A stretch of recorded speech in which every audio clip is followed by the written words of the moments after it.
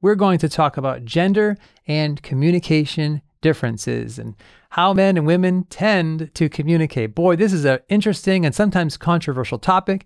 I can't wait to get into it. And we are basing this whole discussion, or most of this discussion, on Beebe and Masterson's book on communicating in small groups. So let's get into the details now. So, one of the things that we can agree on is that men and women communicate differently. Research shows, however, only general patterns but those patterns often do not align with your personal experience. So, the more studies you look at when it comes to gender and communication, the blurrier the picture becomes. So, we're not going to make sweeping generalizations and draw big conclusions in this video. We are going to look at some research and consider it but we don't need to necessarily draw bigger conclusions. It's best, therefore, to use qualifying words like tend to or sometimes rather than words like always or even usually. In fact, I am pretty confident that of all the different facts and things we look at here, you will see, at least in some instances, where you do not align personally with the research we're going to discuss. So let's get into some of this more. So, first of all, men and women tend to use words and nonverbal differently and tend to interpret words and nonverbal cues differently. How that happens, we don't exactly know. The specifics of when you're going to interpret something one way or another, it's hard to say.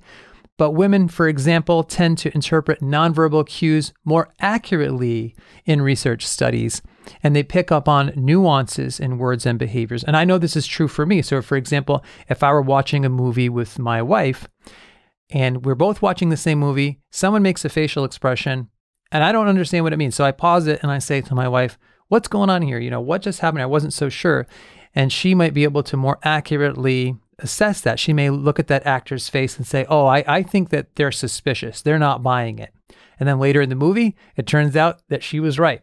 So in this particular case, I line up with this statistic, with this research. Like, I don't see the nuances in those nonverbal cues as well as my wife does.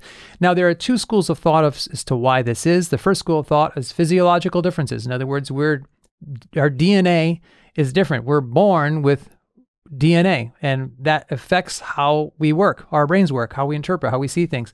The other school of thought is we are socialized. As we grow up, we are taught essentially to see things a certain way.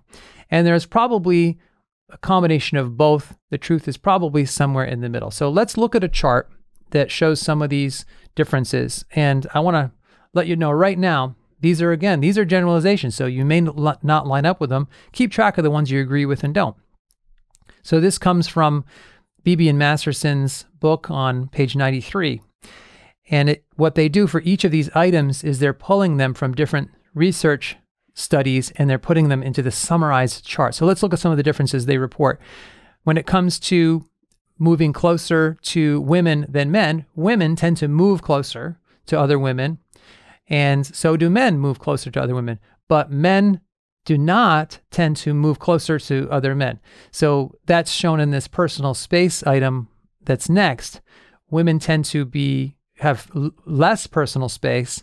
Men tend to prefer more personal space. And this is where I certainly line up with this. So when I go to movies with my buddies, I often will leave an empty seat between us as they do too.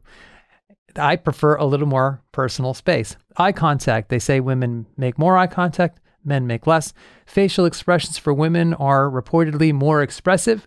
Men tend to have less expressive facial expressions. I would say that this is kind of true for me, but as you can tell, I'm a very expressive person.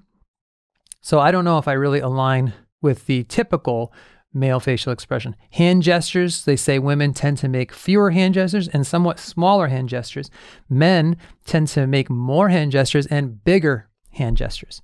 Initiating touch, they say in this light line item here, and we're going to get back to this in a second, that women initiate touch less frequently and men do this more so. And in terms of volume, they say women speak softer and men speak louder. Now, let's talk a little bit about this second to last item initiating touch. This is based upon a 1973 book called Body Politics. So, this is limited research, one study. And in fact, I looked at this chart in the book, and every single one of these line items cites a single study. But if you look at a single study, it's very hard to make these kinds of generalizations. You should never generalize from a single study. And yet, people do this with gender all the time. It's much better to look at lots of studies before you generalize. But with gender, it's very hard to do that. For example, I looked up a couple of other studies about who initiates touch generally, and I found one on a study that was published in 2001 on sex differences in touch. They looked at softball teams and baseball teams and the way the athletes either initiated touch on field or not.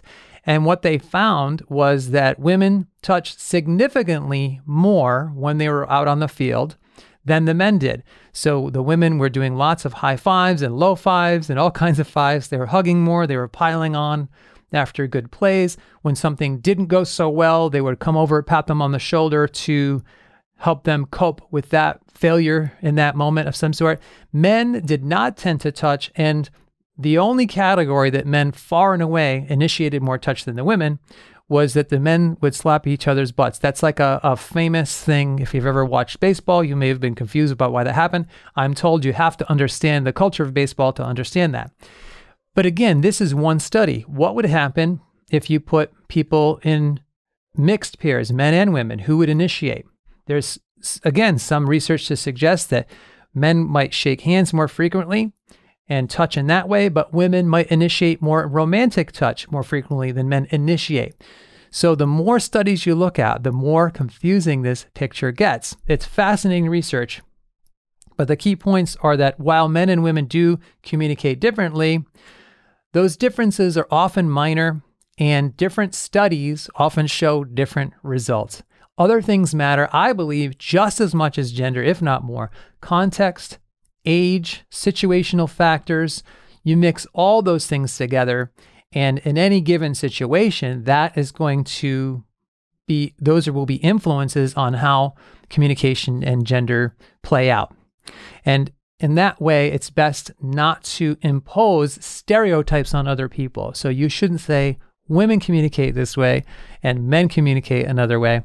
Um, it's true that we communicate differently, but exactly the differences are very difficult to pinpoint. There's been lots written about it, but it's hard to draw firm conclusions that generalize across situations. So, question of the day What do you think of this research? What do you think of the opinions and the the facts that we talked about here. I would love to hear whether you agree or disagree or anything in that comment section below the video. I look forward to reading your comments and I will see you soon.